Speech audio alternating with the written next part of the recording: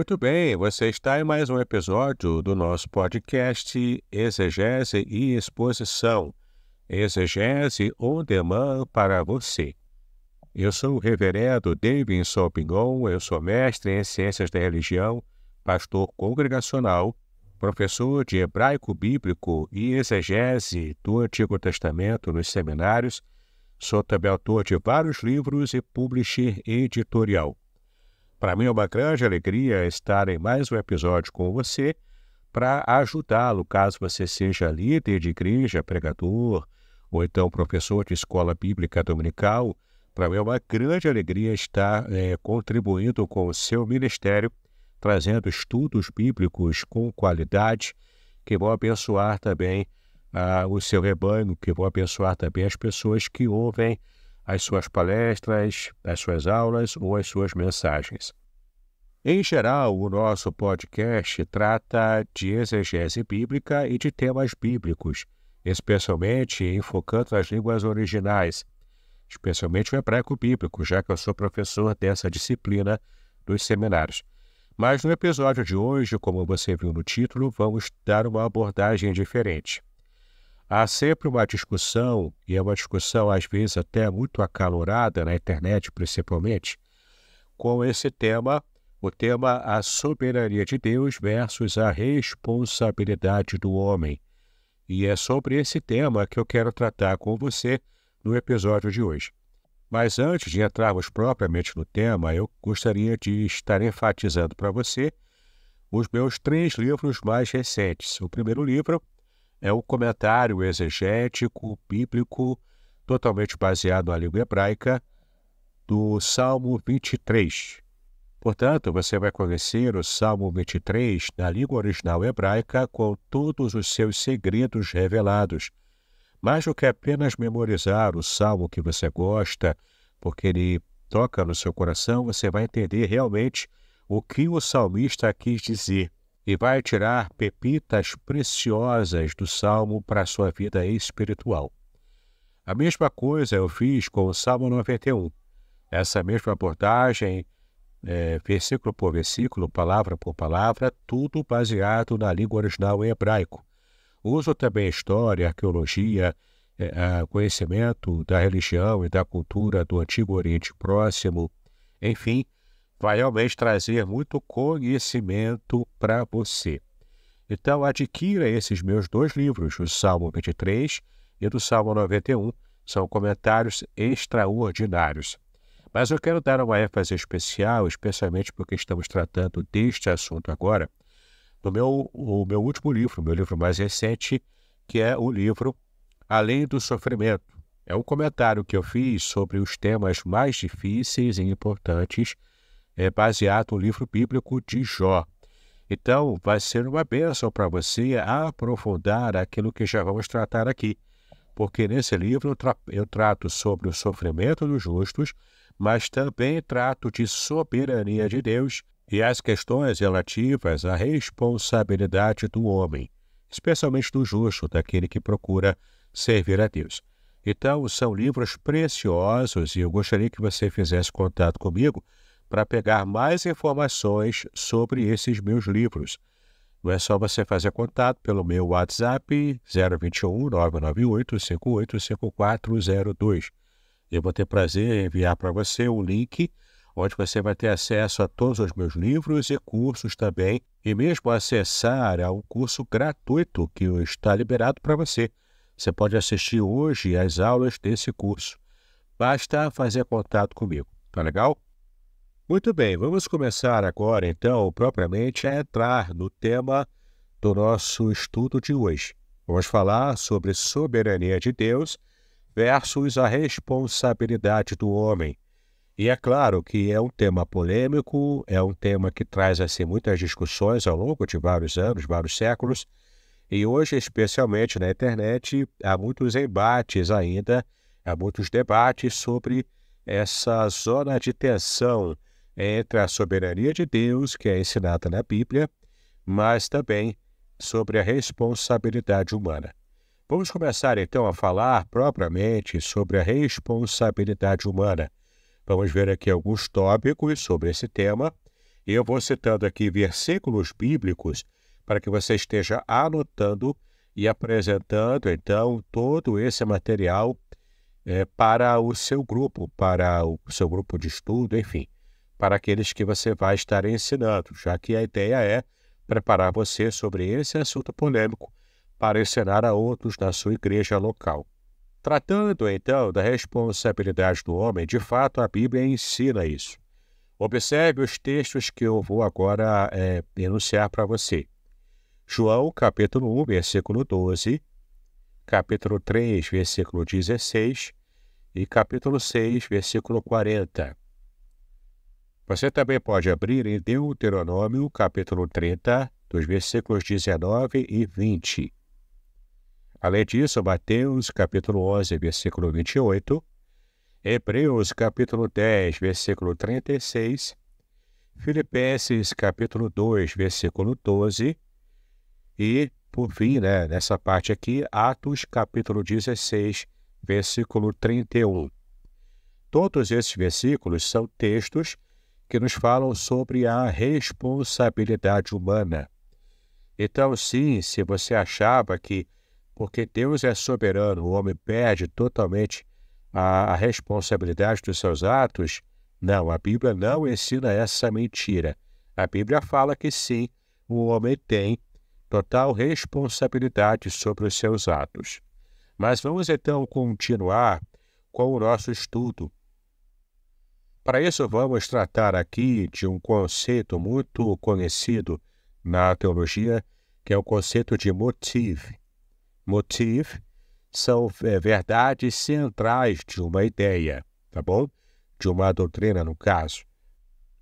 Então, esses são os motivos que vamos tratar aqui sobre a responsabilidade do homem. Tá legal? Quais são as verdades centrais, então, os motivos da responsabilidade humana?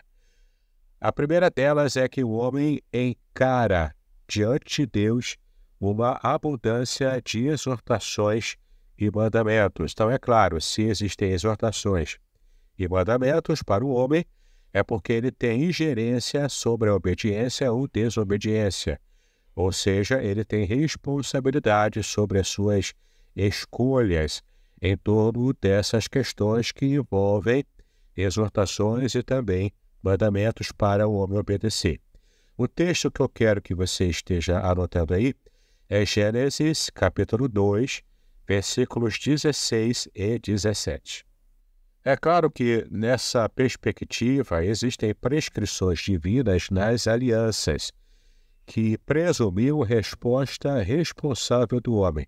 Por exemplo, o fato de Noé construir a arca, o fato também de Abraão sair de Ur e a construção do tabernáculo de acordo com as instruções divinas são exemplos de como o ser humano precisa responder de modo responsável às atribuições, a tudo aquilo que Deus mandou que o homem fizesse. Isso, é claro, envolve a responsabilidade do homem com respeito ao mandamento de Deus.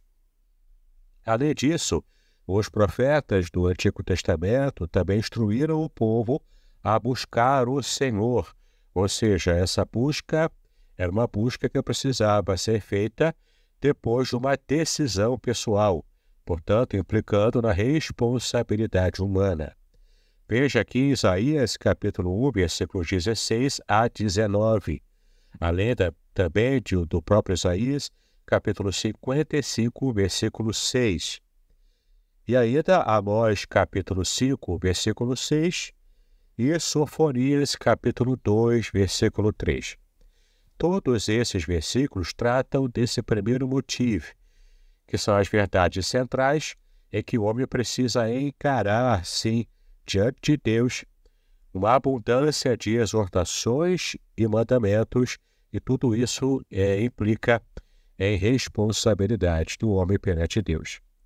Bom, o segundo motivo, ou seja, a segunda verdade central sobre a responsabilidade humana, é que o homem deveria obedecer, acreditar e escolher, tá legal?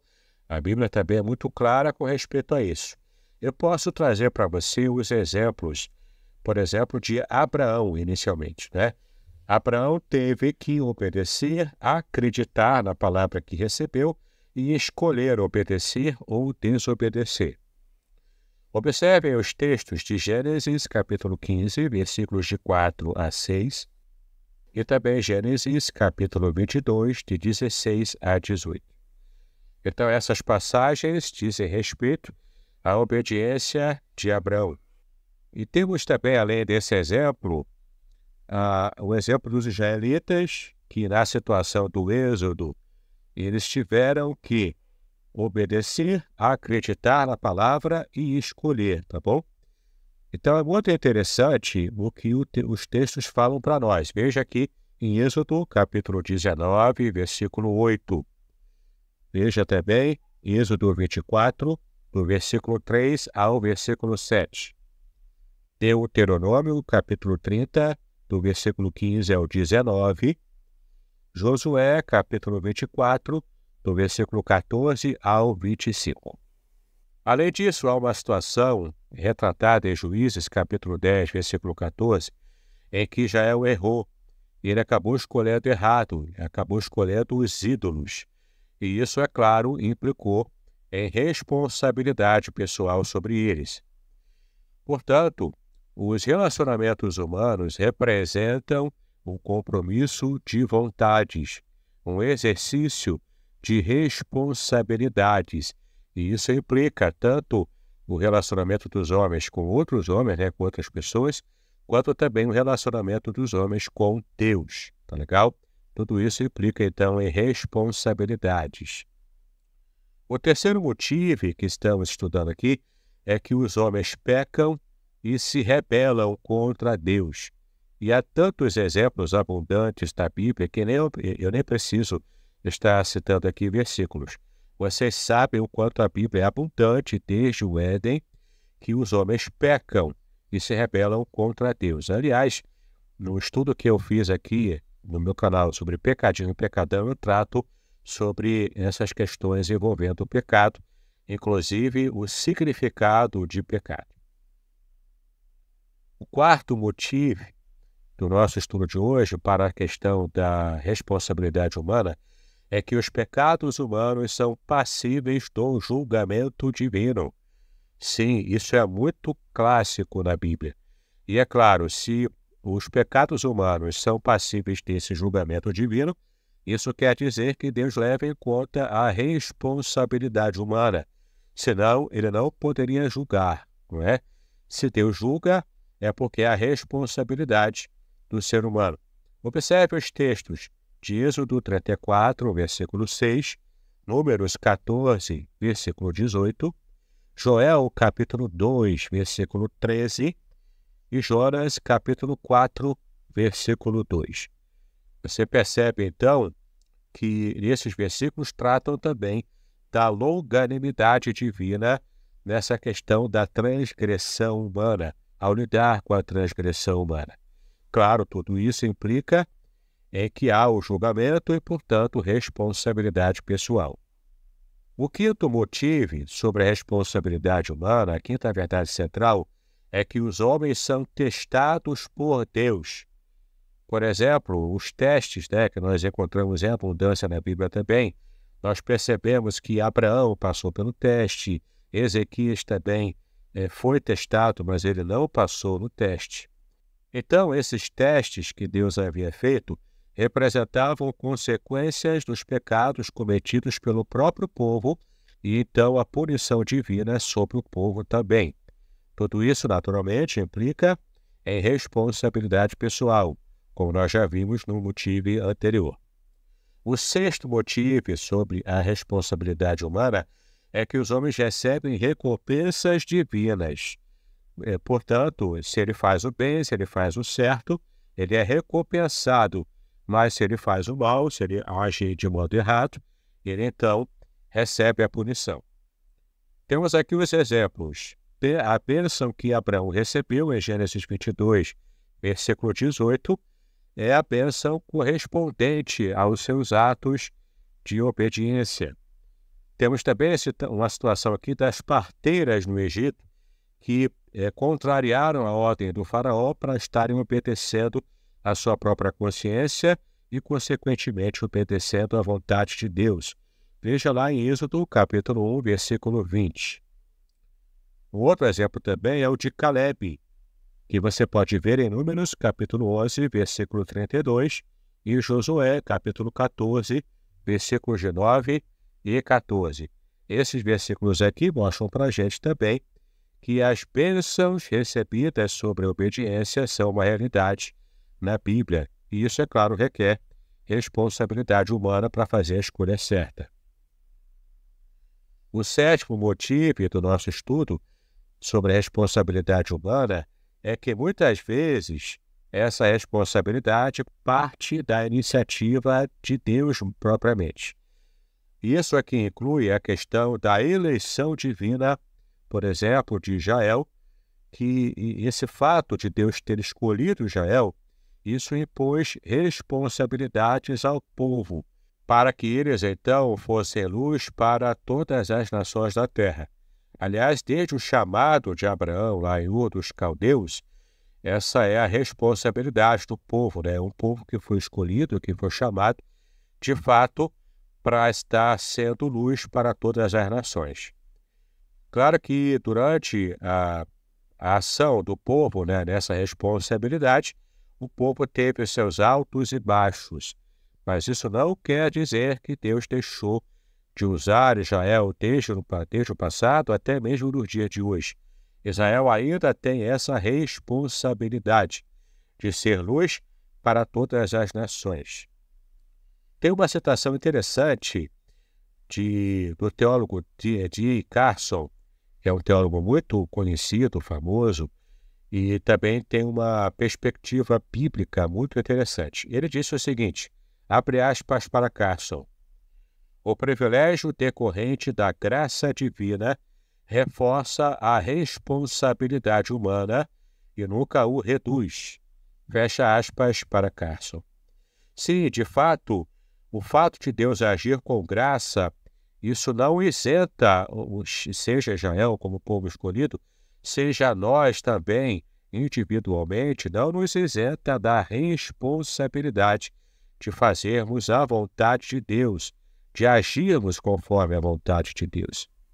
Então, é, Donald Carson está correto nessa afirmação. Temos aqui, então, o oitavo motivo para as questões da responsabilidade humana na Bíblia. Nossas orações não representam apenas os modelos a ser admirados, mas representam um relacionamento real entre uma criatura dotada de vontade e um ser divino também totalmente livre. Então, a, a, a oração é também uma, um indicativo da responsabilidade do ser humano e o fato de ele ser livre para se relacionar com Deus. Claro que isso tudo depois da obra de Cristo na cruz do Calvário. Também é uma frase interessante de Donald Carson, que ele fala sobre esse ponto. E ele fala o seguinte: abre aspas para Carson. A oração é a interação de personalidades. Fecha aspas. Então, isso representa uma medida significativa de responsabilidade humana no tipo de relacionamento que mantém com Deus. O nono motivo, e o último né, dessa série sobre responsabilidade humana. Deus categoricamente suplica por arrependimento como você pode ver em, vários, em várias passagens da Bíblia, especialmente Ezequiel capítulo 18, versículo 23, e você precisa frisar bastante esse versículo quando você for apresentar esse estudo bíblico na sua igreja. E mesmo Isaías capítulo 65, versículo 2. Você percebe aqui então Deus categoricamente suplicando por arrependimento do seu povo, das nações, das pessoas no modo geral. Então, esses são os motivos, ou seja, os textos que tratam da responsabilidade humana.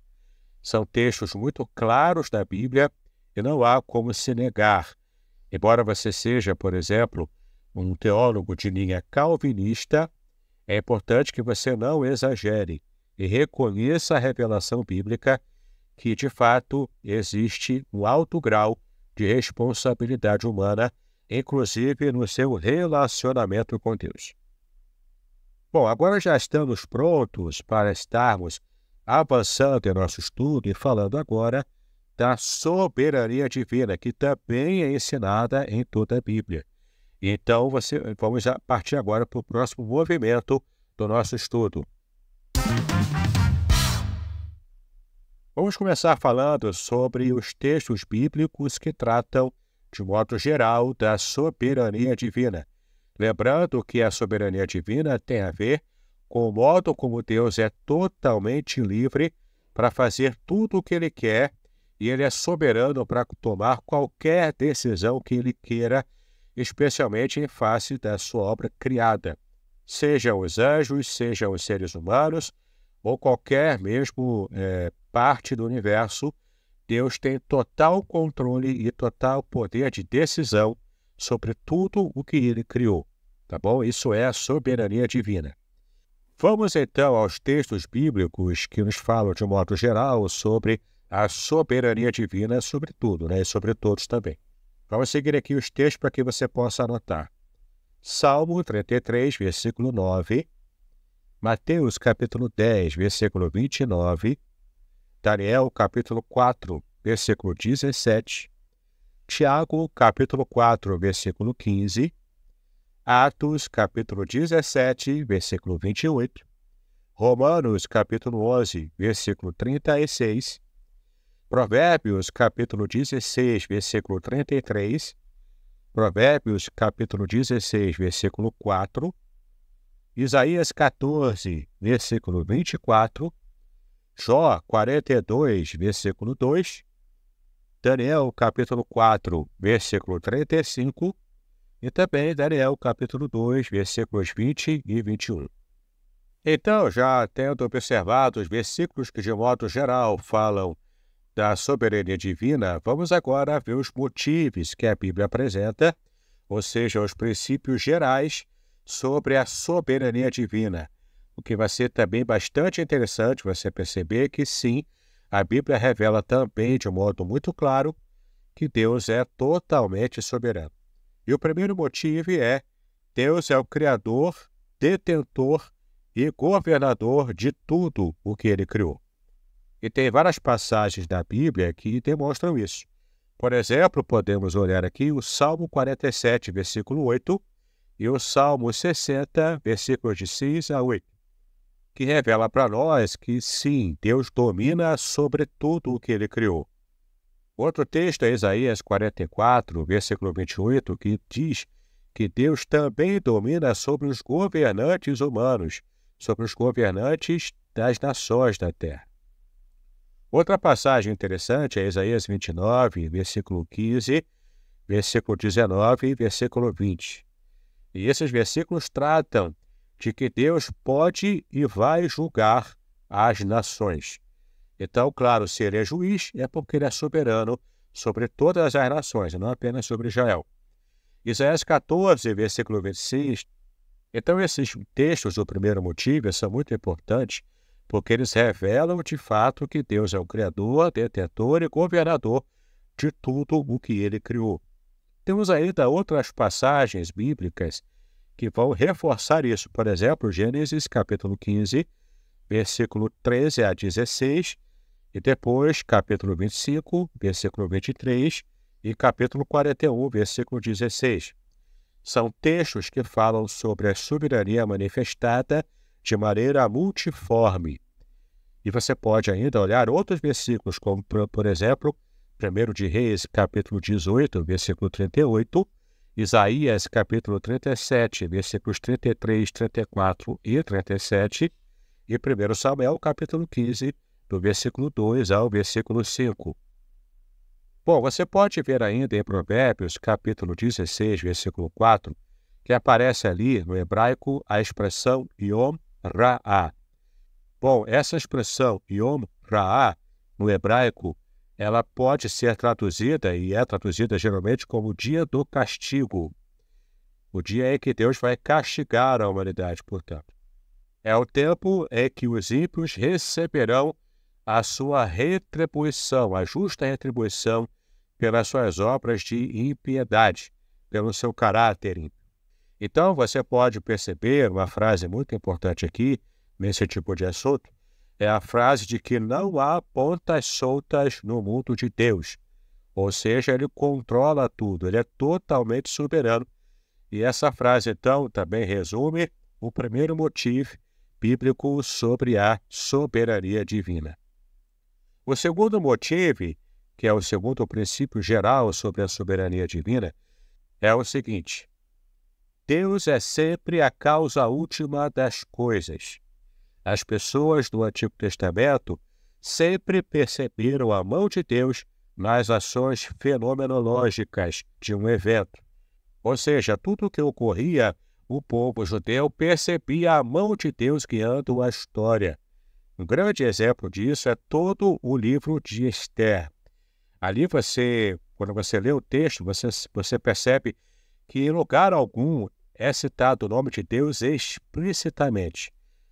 O nome Deus, o título Deus também não aparece em Esther, mas você percebe o agir de Deus de modo escondido em todo o livro.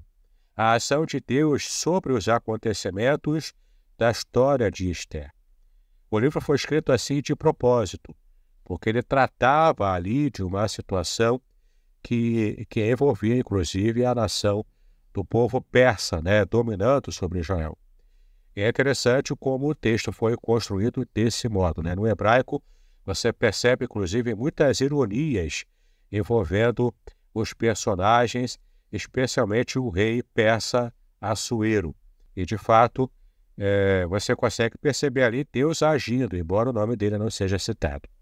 Bom, como Deus é apresentado no segundo motivo aqui né, que estamos estudando, como a causa última de todas as coisas, podemos perceber aqui onde Deus age controlando todas as situações.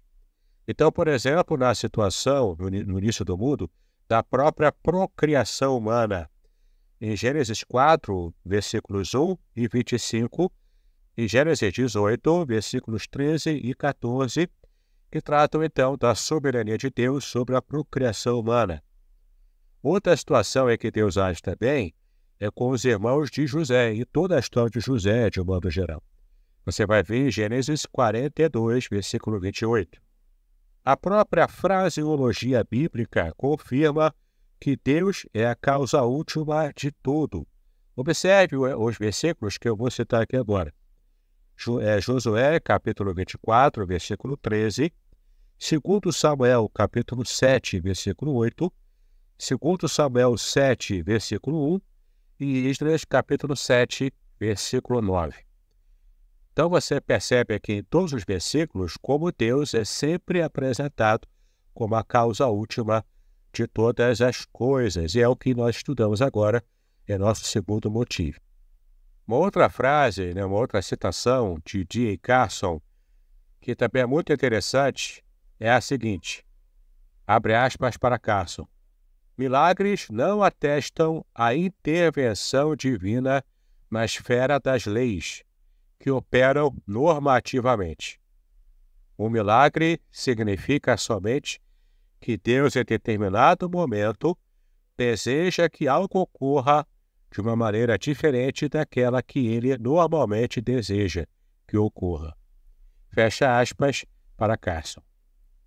Então é interessante você perceber que, mesmo na ocorrência de milagres, você percebe a mão soberana de Deus controlando tudo o que acontece na história humana.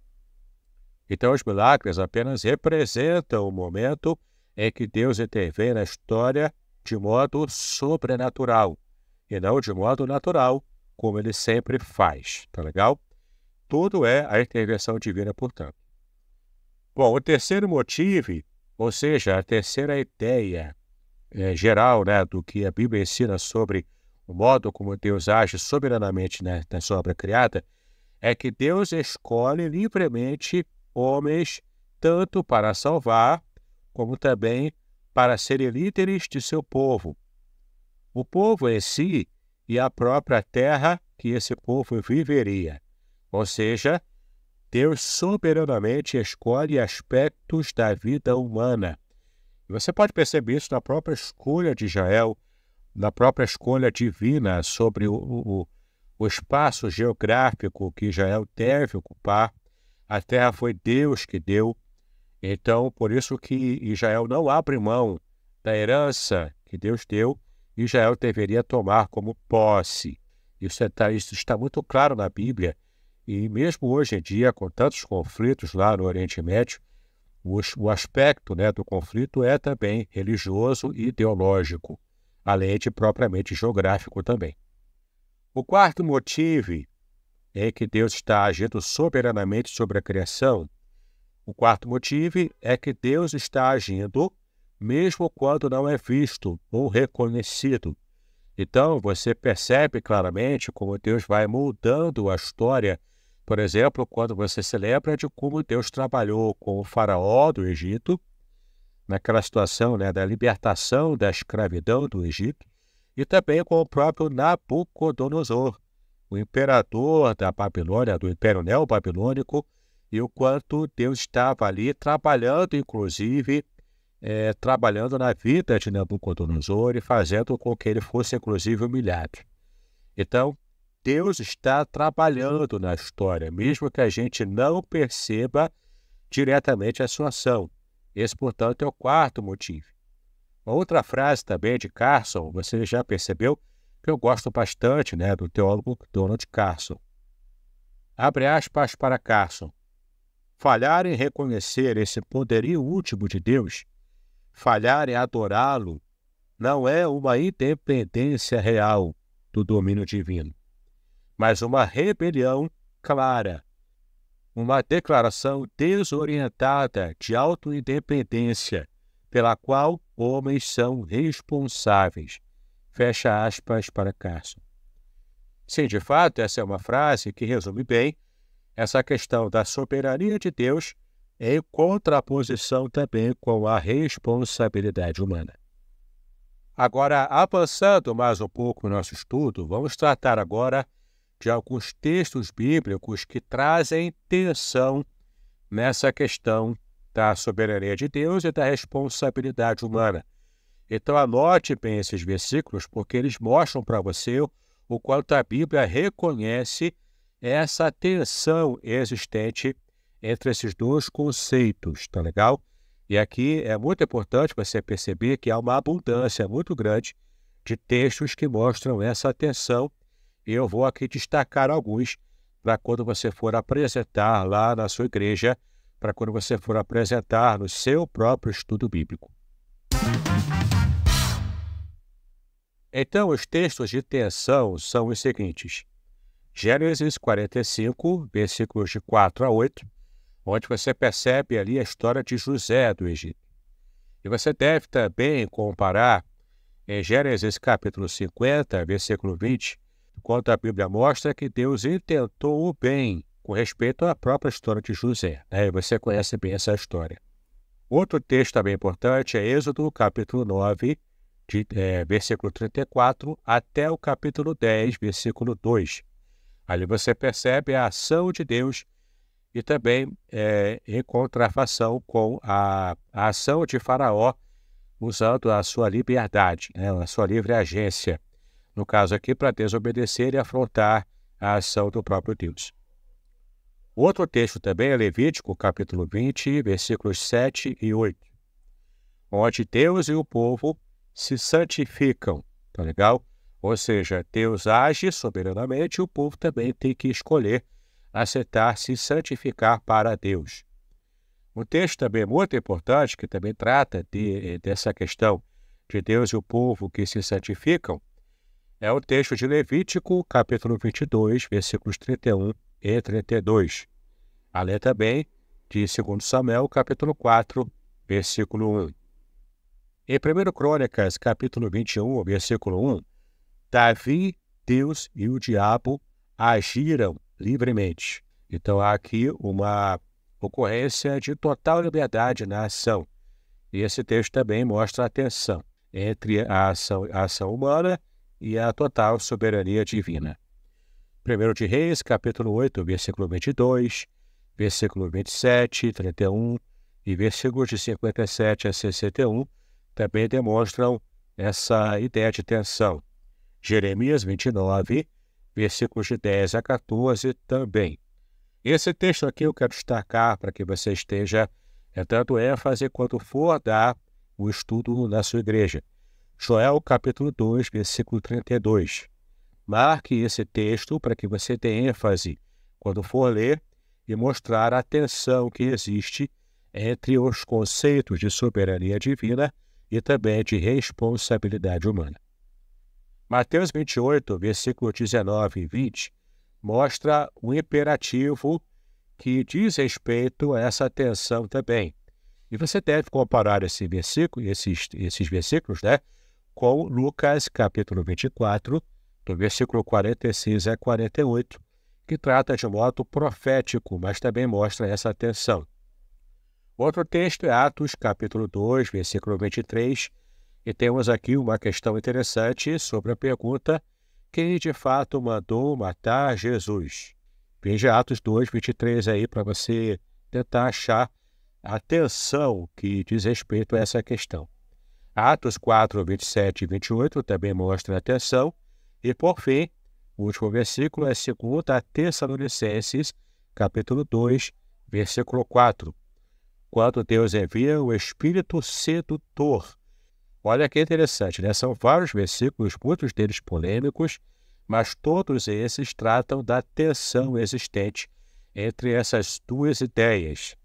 A ideia da soberania total de Deus sobre a obra criada, sobre a sua criação, e também a liberdade de ação humana, que, embora seja uma liberdade de ação relativa e não completa, mas ainda assim é uma liberdade.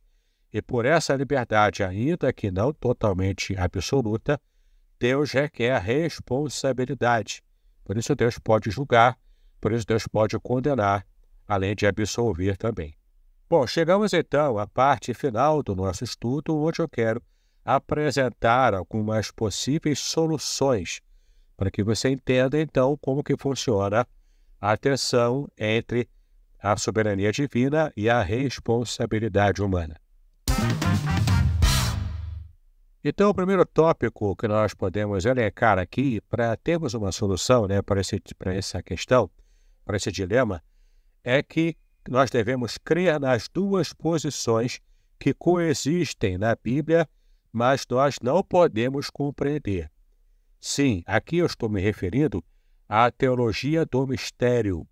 Como o próprio teólogo Martinho Lutero disse, é o Deus absconditus versus o Deus revelatus, ou seja, o Deus que se revela e o Deus que se esconde. Nesse caso aqui, estamos trabalhando a teologia do mistério, do Deus que se esconde, não se revela totalmente, mas revela apenas a, parte da sua personalidade que diz respeito ao nosso relacionamento com Ele. Mas nem tudo do caráter de Deus é revelado completamente a todos nós. Bom, o segundo aspecto da possível solução que eu quero indicar para você é que o homem é o responsável final do seu pecado. Então, tudo que o homem faz, todo pecado que ele comete, ele é, em última instância, o seu responsável final. Por isso, Deus pode julgá-lo, sim, condená-lo por esse pecado não arrependido, não confessado, não resolvido em Cristo Jesus. O terceiro aspecto da possível solução é que nós devemos entender que a soberania de Deus não remove da igreja a responsabilidade de evangelizar. Essa é uma crítica, aliás, muito comum que fazem aos teólogos de linha calvinista, dizendo que se você prega a predestinação, que se você prega a total soberania de Deus, inclusive sobre a salvação humana, você, você então está tirando da igreja a responsabilidade e também o privilégio né, de evangelizar o mundo, que é, na verdade, uma ordem bíblica, não é? Então, entenda isso, tá bom? O fato de Deus ser totalmente soberano não impede a igreja de evangelizar. Pelo contrário, a igreja precisa evangelizar para que as pessoas, inclusive, na, na, na forma de entender calvinista, essa pessoa, para que seja salvo pela soberana graça de Deus, precisa ter acesso à pregação. Então, o quarto tópico para a possível solução também que eu quero apresentar para você é que a salvação do indivíduo é uma atividade totalmente divina, ou seja, é um ato monergístico, ou seja, um ato que apenas um agente está trabalhando. De fato, mesmo você que tem, que, que segue né, a teologia arminiana de Jacó Armínio, que, que preza pelo livre-arbítrio, pela liberdade do homem ao estar é, recebendo né, a salvação, ele escolher a salvação, mesmo aquele teólogo arminiano criou um conceito teológico chamado de graça preveniente, ou seja, é um start que Deus dá pela graça para é, levar o, o pecador a ter condições de dizer sim para Deus. Já o teólogo calvinista vai dizer que essa é uma atividade totalmente monergística e que Deus primeiro regenera o pecador pelo Espírito Santo para depois ele ter condições de dizer sim como resposta ao convite da salvação. Esses são detalhes né, que trazem assim, muito embate, mas você já está percebendo aqui que, na verdade, esses textos e essas ideias que aparentemente para nossa cultura ocidental trazem tensão teológica, você vai perceber que tanto a Bíblia quanto, inclusive, o pensamento oriental é, trata disso com muita naturalidade, porque eles conseguem tratar com atenção, eles conseguem entender que essas passagens de tensão complementam umas às outras e não se contrapõem. É que a nossa mente cartesiana ocidental ela está completamente condicionada a pensar esses dois extremos de modo a não se completarem, mas se embaterem. Em parte também isso é devido à influência de Friedrich Nietzsche, que trabalha aquela, que, aquela questão da tese, antítese e síntese, em que há um constante embate sobre ideias contrárias, formando novas sínteses, que também vai se embater com outra antítese e forma nova síntese, e assim fica de modo ininterrupto, né, de modo é, eterno. Então, para a gente perceber que a nossa mente ocidental está condicionada a pensarmos assim. Mas a mente oriental, que é a mente em que a, a, produziu a Bíblia, né, não traz nenhum tipo de conflito. Na verdade, ele consegue conviver com os textos de tensão e consegue então perceber também que Deus tanto age soberanamente quanto também leva em conta certo grau de liberdade humana no que diz respeito às suas decisões também, inclusive até mesmo a salvação. Então, esse é o quinto motivo agora dessa possível solução, é o quinto tópico, né, e último também, e que é o que vai talvez trazer paz ao seu coração.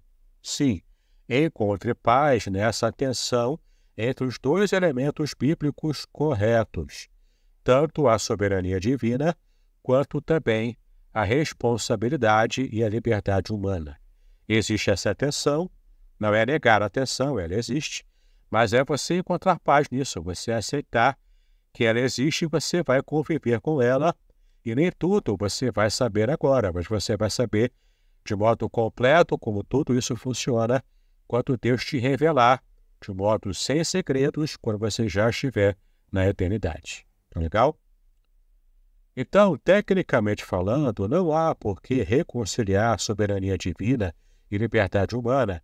Por quê? Porque eles não são inimigos, não se contrapõem, mas, na verdade, se complementam, como de fato é a forma de pensar e de encarar esses dois temas na mentalidade hebraica, na mentalidade oriental.